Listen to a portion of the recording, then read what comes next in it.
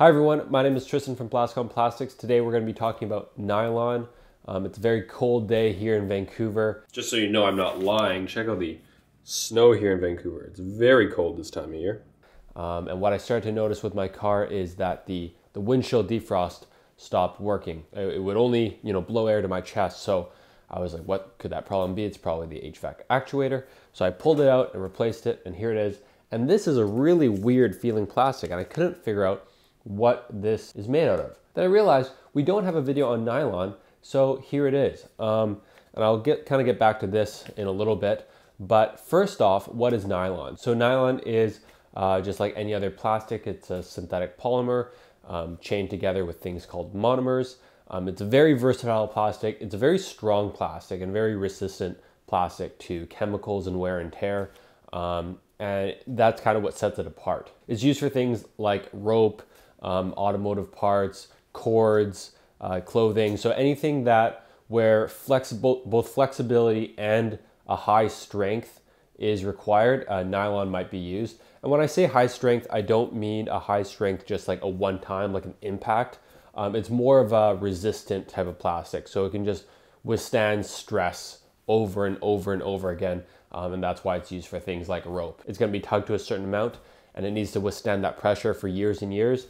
Um, and that's what nylon is really good at. So what is nylon used for? One thing is clothing and fabrics, particularly things like jackets or windbreakers where durability is required. Uh, nylon can be similar to uh, polyester, but nylon is more expensive and stronger than polyester. Sometimes it's also used for things like lingerie. Of course, lingerie doesn't technically have to be the strongest thing in the world, but because it's so thin, a lot of the fabrics that hold the structure of lingerie will be made out of nylon. Next thing is ropes and cords. We've already mentioned it. Because of its high uh, strength and high stress resistance is optimal for that use case. Use case number three would be things like automotive parts.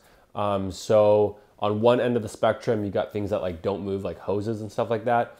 Hoses um, are really good because nylon can be extruded into different fibers, making it really strong.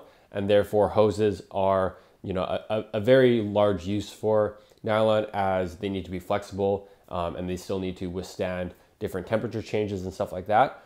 And nylon is actually used for other things like uh, gears. Now, when I say gears, I don't mean the you know the gears in your engine, the things that you might not even consider to be in your car, like the gears uh, that are connected to this thing to you know blow air either at your head or blow air at your feet. The gears to move small uh, parts in your car, um, could be like your electronic seats that you know go back or your headrest that goes up and down, stuff like that. There's a lot of gears uh, in a car that people kind of forget about, and the ones that don't need a tremendous amount of strength, like you know the ones in the engine, um, are often made out of plastic or some sort of polymer, and often it is nylon. Another use case would be in the military.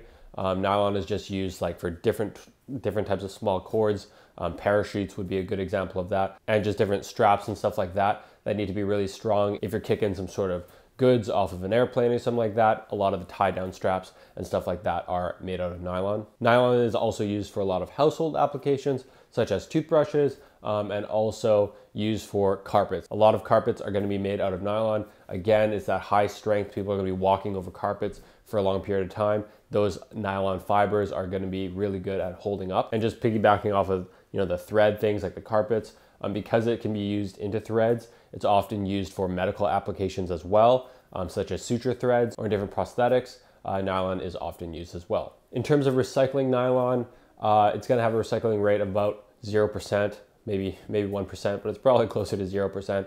Uh, again, why are we using nylon? We're using nylon because it's high strength, um, and it's durable, right? So when that life cycle ends, and it's usually a pretty long life cycle, it can be 10 years, 20 years, whatever, those things that often are used for a longer period of time naturally just don't have the same recycling um, sorting process. So when it comes to recycling, the uh, sort and gathering aspect of recycling is the most important and the hardest to do. Uh, that's why plastic bottles that are made out of PET, which is number one plastic, can be easily sorted and gathered uh, it's really easy to find plastic bottles to recycle. Whereas stuff like this, stuff like nylon gears, um, stuff like old carpets, you know, there's no real easy way to recycle that, and therefore nylon has a very, very low recycling rate. If you found this video useful, please subscribe or comment. Take care.